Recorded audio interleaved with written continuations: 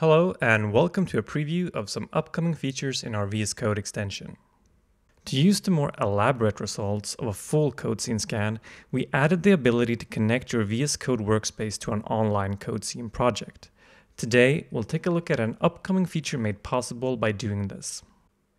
Looking at the Accounts menu, we can see that we are signed in to CodeScene Cloud, and that means we can use the feature that I want to talk about today, which is change coupling.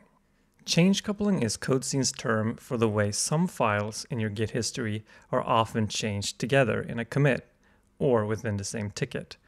For example, when you commit file A, we often see that file B is also changed.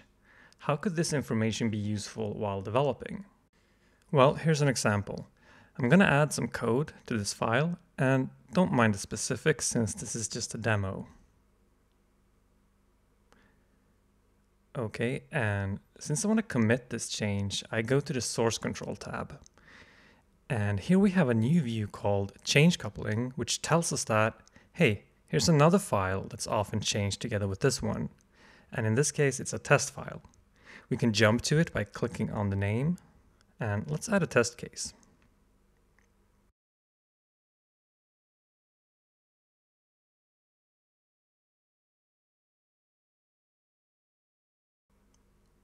Once completed, the reminder goes away. Another example is in the Explorer tab. Here we can see the change coupling information for any file that is in the currently active editor. This could be useful to know in advance what kind of code relationships you might encounter when adding new features to a file or a class.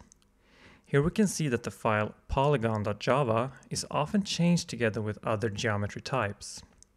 In some cases, these relationships can be hard to spot because they may not be explicitly expressed in the code.